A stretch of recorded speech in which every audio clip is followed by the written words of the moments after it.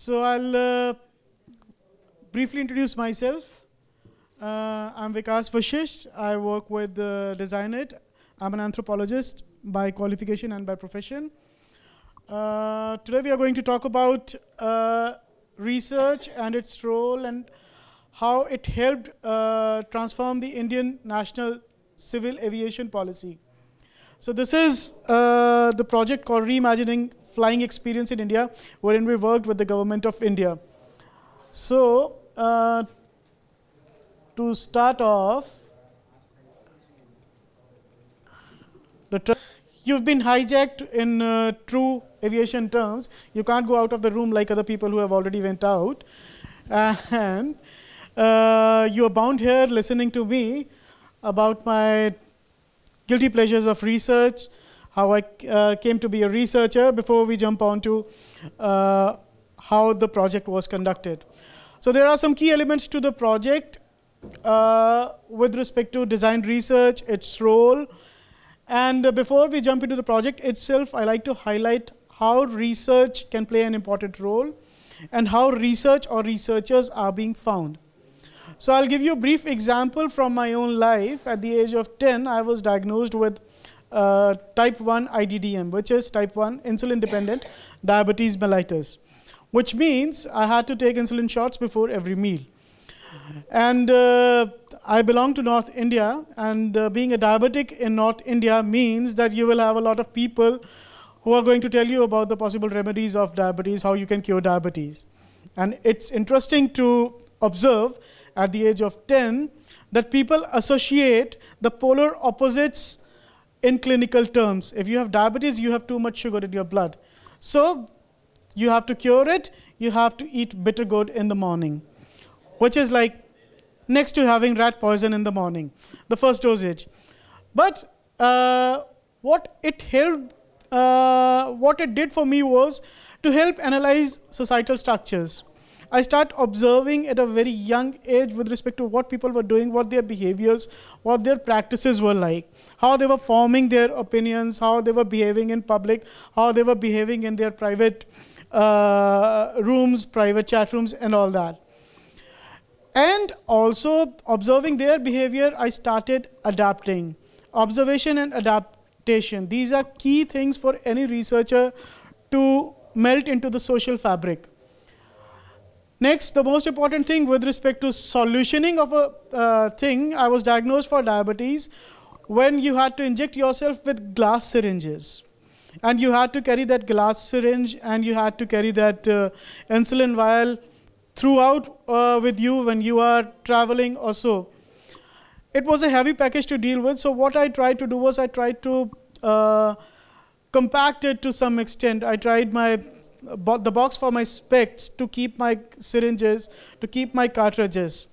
And uh, more often than not, I mean, uh, approximately 10 or 15 years later, after I was diagnosed, DesignIt, the company that I work for right now, they designed an insulin pen, which not only eased out carrying of those syringes, uh, the, that syringe was transformed into a pen, and the entire bigger cartridge was, uh, was uh, uh, reduced to a smaller cartridge, a pen refill kind of thing.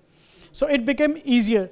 So what my pain point was during the childhood, what I observed, and what uh, some researchers might ha also have observed as a pain point and how it transformed into a solution. That was an interesting journey for DesignIt and for me as a user. So uh, therein, I landed up with DesignIt after uh, approximately 25 years of me being a diabetic. So I can just call it that it was fate and we can wrap up this session because research has nothing to do with it. But then again, I would be wrong.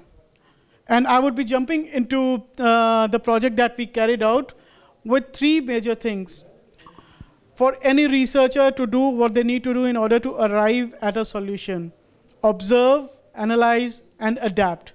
These things will be the key uh, to any research project, to carry out to any design research project that you ever carry out. Current uh, problem at hand. So, uh, the Ministry of Civil Aviation for India they approached DesignIt. DesignIt is a strategic uh, design firm We provide strategic design solution for all your business requirements, service requirements, product, or other pain points and challenges. So they approached us. They said that we want to transform the Indian flyers flying experience digitally in a digital format. At the same time, they didn't want to compromise on any uh, type of security as well. So in a nutshell, they wanted to transform the entire experience, keeping security and enhancing uh, passenger experience at the same point. India is a diverse country, so how do you go about it? How do you identify passenger behaviors, practices? And this is where in my uh, pr prior experience of conducting a similar project came in handy. So you'll observe and you learn throughout. So what we did, how we designed uh, the research process entirely. So we framed that we have to do some amount of desk research. What was the desk research that involved? It involved more than 50 plus documents. And uh, to define uh, research for any uh, larger project such like this is you cannot just observe it from a single frame of reference. You can't just look at the user, the person who is going to fly out, because there are multiple services, multiple practices that interact with that particular user. So you have to have a holistic view, holistic approach to it. What does holistic mean? I mean, we use that word quite loosely at times, but what does it mean, especially in this particular frame of reference? So for us, it meant connecting with each and every point of interaction. So when we are saying 50 plus documents, we were not only studying what the passenger behaviors or uh, passenger practices were at that point of time. We were also studying security regulation laid by uh, Bureau of Civil Aviation uh, for India.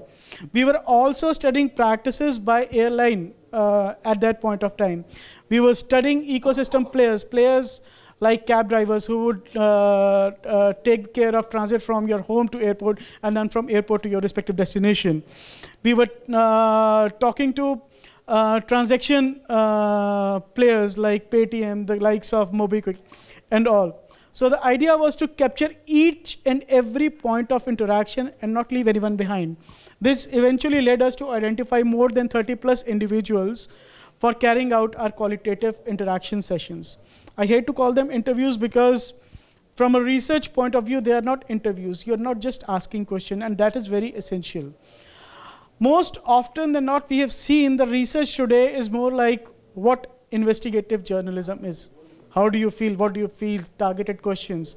But that's not research.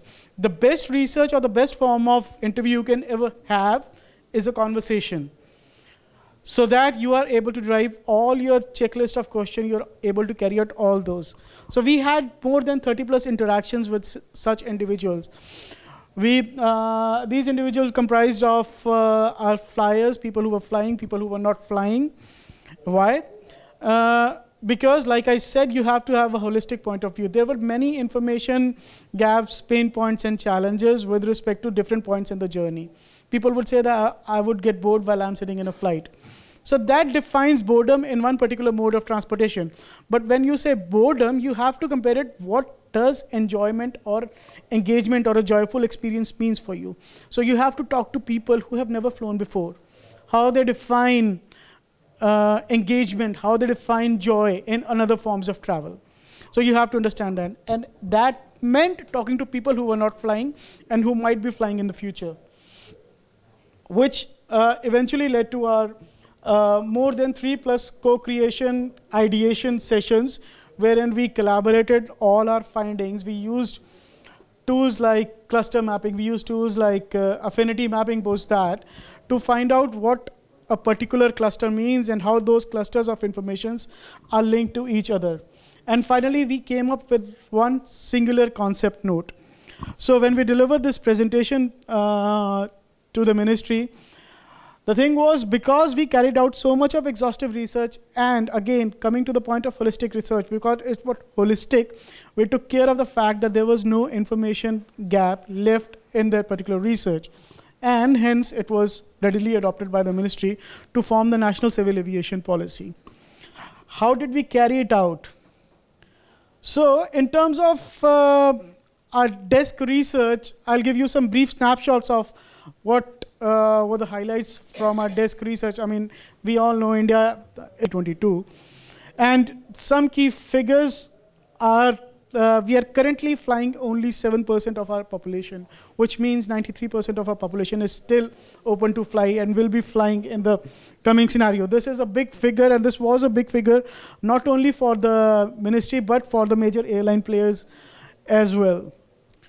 How did evolution of Indian flyer took place? So this is uh, one of the outcomes of our secondary research we identified consumer patterns over a period of time, how they have changed and why they have changed. The more important thing for us was to identifying those drivers, identify those influencers. So the first thing, of course, was economic development, which basically meant that people have more disposable income to shed now. They can uh, travel much more with respect to their disposable income. Also, uh, the incoming of uh, finance institution, finance opportunity for people. It no longer meant that flying was not affordable anymore. Flying was not a luxury. A person belonging to any particular socio-economic cat, uh, category can fly. How it, uh, having identified financial institutions, we also understood that uh, Kingfisher and uh, the likes of uh, Jet Airways are no longer players anymore, and the low cost airlines are the thing uh, that is driving consumer practices right now. So all of this is connected and all of these are pushing factors towards contributing to a larger sale or a larger onslaught of more and more flyers. Of course, low brand loyalty is there. The customer is no longer loyal to a singular brand. I'll only fly Indigo. No, if you find a better deal with Go Air, you will go with Go Air if you find a better deal with SpiceJet, you'll. There is no longer a brand loyalty, but there is a service experience loyalty that is there. So every airline, every player, every ecosystem player, they'll have to identify that you have to deliver a great service experience in order to retain your customers. It's no longer the brand that keeps your customers. And uh, of course, an ever evolving ecosystem, it's no longer uh, just a single player that is playing, that is earning revenues out of flights. I mean, there are players in market like Paytm, there are players in market like Olas and Ubers of the world who are making money like anything just from their aviation market. So, moving on, of course, with respect to customer expectation and customer experiences, they are not singularly driven by aviation only, they are driven by their experiences amongst different sets, different uh, spheres of life. And uh, this helped us understand what are the global benchmarks and best practices when it comes to aviation, when it comes to uh, different spheres of life.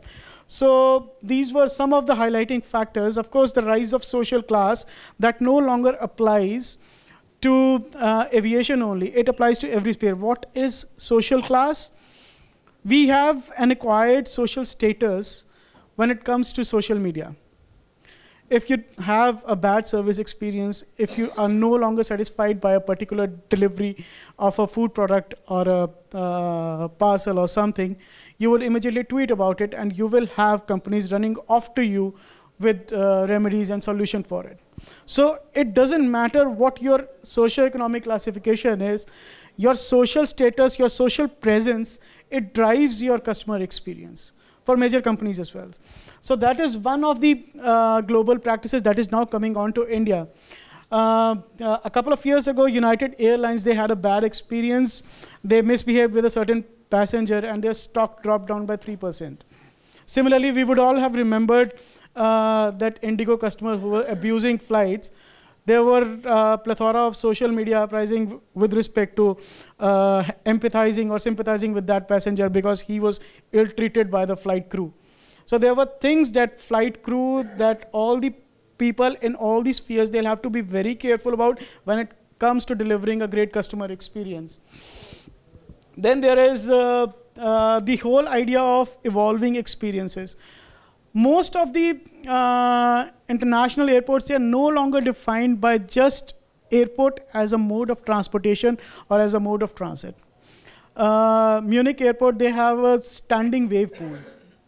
So uh, you would go with your family over the weekends. You'll just enjoy the, the standing wave pool. You'll surf and turf over it. So that is the kind of experiences people are looking forward to. Whereas what's happening in India is people were looking at airport at uh, as a mode of transportation, as a mode of transit. I'll just go there to take a flight.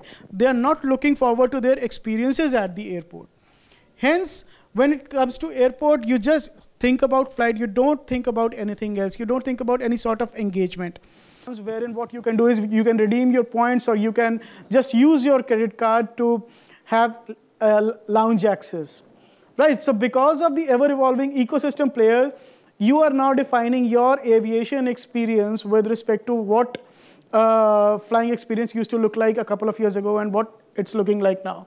So these were the similar global benchmarks and practices that we dug deeper into to identify what will drive the Indian passenger journey. Then came primary research. So primary research meant that we talked to users, we tried to identify uh, their pain points, their journeys. We uh, had sets of ethnographic observations, which meant that we would take flight and we would observe people, uh, the, uh, how they are uh, performing, how they are behaving, what are their practices when it comes to uh, uh, flying.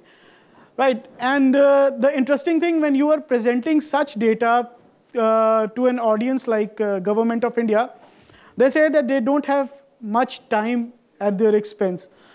And this is a problem that we have faced with respect to delivering research content more often than not. So how do you deliver, how do you sell research? So this graph came in handy. So if you see, this particular graph is actually a culmination of more than 25 slides. So each and every slide that we, we identified the consumer journey in terms of flying with respect to their pre-airport experiences, their experiences at the airport, how uh, the post, the flight, their experience is going to look like. Each and every slide consisted of that particular experience and what the pain points were. A very important thing in research is to identify what these challenges mean for different people, how they are actionable. So this is an area wherein, uh, I mean, research has always found its challenge. Okay, this is good. So whenever you communicate research to uh, any person or any, any, stakeholder, they will say, yeah, these are very good findings. This, these are good insights. But what the heck do we do with it? And who uh, should we target to?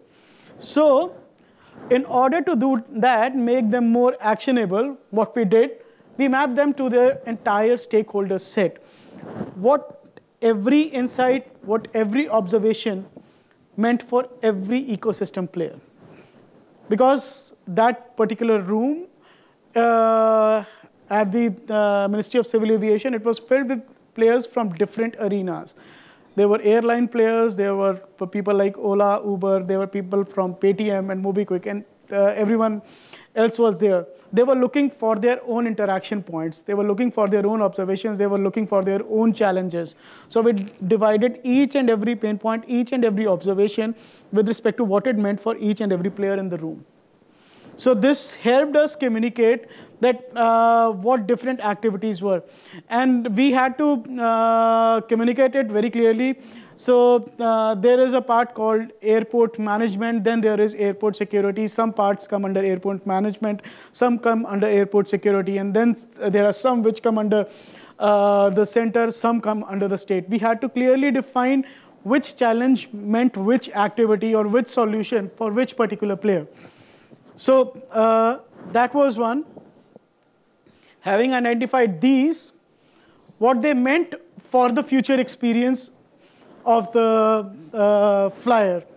So the underlying themes or what we call experience principle for the flyer, we came onto uh, these helped us define what the future journey is going to look like for the Indian flyer. So wherever the information gap, so if uh, the previous slide, it talked about various pain points. There were pain points with respect to booking uh, the flights, people were not very clear with respect to what the ongoing trends were.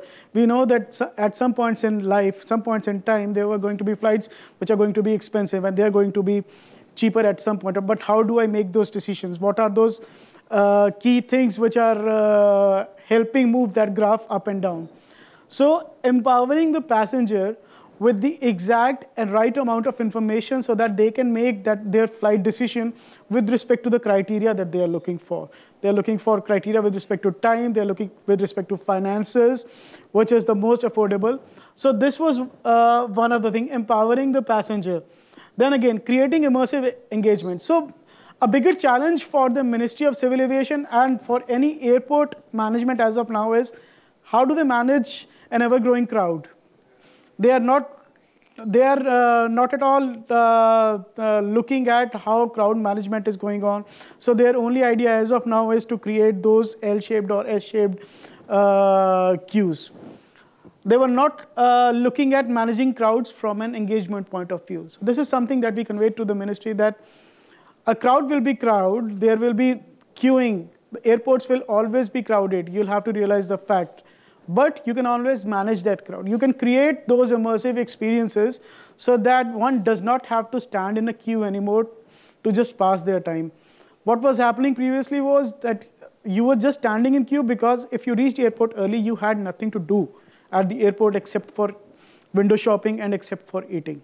So you have to define your experience at the airport so that it's that much engaging uh, to a consumer that you don't feel the need to stand in a queue right? So, and uh, more uh, airports, uh, I gave the example of Munich airport, they are doing with a standing wave pool. And uh, then there is Changi airport at uh, Singapore, so they have the motion silhouette wall, and then they have uh, a social media tree wherein you can engage and you don't feel the need to stand in a queue. The standing in queue should be a choice, it should not be a compulsion out of that you don't have to do anything. So that was one of the key takeaways that stuck with the ministry, and they are doing things about it. Then instilling a sense of familiarity, and the next thing, exploring and enabling the freedom to explore for the passenger. These were linked. Airports, they felt alienated to most of the people because there were boundaries created by uh, the security guys, by the uh, so-called khaki uh, worthies at the airport. They, you are frisked there are certain boundaries that you are allowed to go and you're not allowed to go. Instilling a sense of familiarity, deploying digital interventions, solutions that you feel like you know the place. Even uh, at your own home, you know the places that you, as a child, you know the places that you were supposed to go and the places you were not supposed to go. But still, it was your home because you knew where you're, supposed to go instilling the same sense of familiarity to an audience, deploying digital interventions like AR solutions, like digital navigation solutions and guiding systems can instill that sense of familiarity and freedom to explore. And of course, last but not the least, we use this term very loosely and in many aspects go paperless, but we don't deploy solutions with respect to it. But thankfully, the ministry heard, and uh, we have a slide later as well. Uh, post the implementation, uh, just a month ago, they have actually started piloting this solution. So this solution, which is now a part of the civil aviation policy, is now actually into practice at Bangalore, Hyderabad, and Delhi airports. They are actually using facial biometrics to define their airport experiences to onboard the passengers. So uh, coming back, what the future uh, of aviation or future... I'll just give, just give me five minutes. Yeah. So uh, what the future uh, of Indian passenger in terms of their flight looked like, they had, we are talking about a connected passenger, a connected airport, a connected experience, a connected systems, and connected flying. Everything is connected, and our speed spot is the intersection of all these. What does connected mean? Connected means then when you book your flight, you don't ever have to take out your uh, ID card elsewhere. You book your flight with a particular form of identification and you are through with it. You reach the airport and that is how the next set of uh, uh, solutions uh, are lined out with respect to that. So pre-airport, you have booked your flight with respect to Aadhaar or biometric enabled solution. You reach the airport, you just scan your biometrics and you are through. You don't have to take out your uh, wallet or anything. Using uh, and deploying technologies like blockchain, what you can do is you can do all the payment, all the transactions using your biometrics only. Because uh, with blockchain, you have a shared ledger across the major financial uh, institution. You have shared ledger whosoever is willing to take part in that particular blockchain, right? So you uh, that and that in fact is the essence of paperless onboarding, which is being deployed by Vistara uh, nowadays. Uh, of course, the multitasking when you are going to the airport and uh, engaging uh, with your different things at the airport. You have the paperless boarding, I've talked about it. You have digital security. So security was an important part. So mapping out uh, your biometrics once you have entered, the system knows you are tagged to your phone. The airport knows where you are at which point in time. You deploy solutions like Bluetooth beacons and everything, and you have the exact digital map, heat map of where exact person or people are at the airport. So it was uh, similar. I, I'm sorry, I'll have to rush through because they're kind of giving me the finger.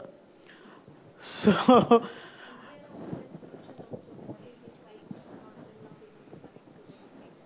if you're not able to connect to, the, you don't have to connect to the, you just have to connect to the internet when you are booking. Thereafter, you don't have to connect to the internet. So uh, with respect to internet, how they are mapping you when you are at the airport, we talked about digital solutions and interventions like push Wi-Fi. So push Wi-Fi basically means that you don't need to connect to Wi-Fi. It will be automatically connected once you enter the confines of the airport itself. So they, it makes it easier from a digital security point of view to map each and every uh, passenger that is there on the ground. If you don't have, then there is tagging. If you don't have something, then there is uh, NFC tags, which are basically not exactly offline, but they help the security map you. So the idea is not to interface with security anymore. The idea is to take the personnel responsible for security, move the entire security solution to a digital framework so that you feel like roaming around and you would automatically know against uh, digital guidance system that you are allowed to go to certain places or not. And this is, uh, we are deploying mixed realities. You can use your VR headsets, you can use your smartphones to use uh, augmented reality uh, applications. Right, uh, so of course, and after your journey has been completed, for international pas passengers, biometric powered exit, which meant basically you don't have to even scan your passport at the uh, at the customs or uh, at the immigration anymore. You just scan your biometrics and you are through with it. So uh, this was a digital solution that was deployed. The ministry readily approved it, and it has been deployed uh, as Digi Yatra. It's there uh, in the news and it's there on national website as well. They have started deploying the entire solution from February 2019 onwards. Paperless boarding is already on route. Digital solutions like blockchain and digital security will be on route in the next stages of the evolution. Some learnings from a research point of view, there are challenges when you're working with the government. Because the government, most of the people, more often than not, they are used to a certain standard, a certain benchmark of practices. So people like ministers, people like their secretaries, they're always traveling first class. They're always traveling the best in class services. So what they'll do is they'll come up to you, they'll say, that, okay, I've seen this solution being de deployed at Frankfurt Airport, let's deploy this in India. What they forget is that the Indian context is entirely different. Indian customer, Indian passengers, their behaviors, practices, their cultural understanding is entirely different. And that was one of the challenge working with the government, wherein again, we had to contextualize some of the solutions that they recommended in order to custom fit them to an Indian uh, audience that's not only the bad thing, there were some benefits of working with the government as well. One of the bigger benefit was that you got access to working with airport management and security. If you were conducting an airport research, otherwise you'll have to grow, go through n number of channels to get a particular uh, authorization to conduct an interview with an airport security personnel. They would not give you that information. But working with government, you had direct pass to go and talk up to any security personnel with respect to what the security guidelines and what the security uh, protocols are at a particular airport. So we actually cut through many channels which helped reduce the timeline. So the entire project was carried out in 2.5 months it would have taken more than seven or nine months if we were involved in the bureaucratic practices of getting authorization, but because we were working with the government, we had direct access. This was covered in 2.5 months. Holistic research I have talked about. and of course, human-centered digital intervention. So everything, uh, every solution that we recommended, it was not human-centered, not only from a passenger point of view, but again from a uh, point of interaction point of view. So whosoever from airline was interacting, we took into consideration their part as well. We empathized with them, understood their story, and the security protocols which were supposed to be kept there were kept there. I won't take much of your time yeah, if you guys have any questions, you can uh, reach me anytime. This was the impact, the thing that I was talking about, Digi Yatra. This is directly a copy paste of what I just presented and what I presented to the uh, Indian government. Paperless boarding has already started at Delhi, Bangalore, and Hyderabad airport. Vistara Airlines is doing it. And if you have any questions, you can shoot and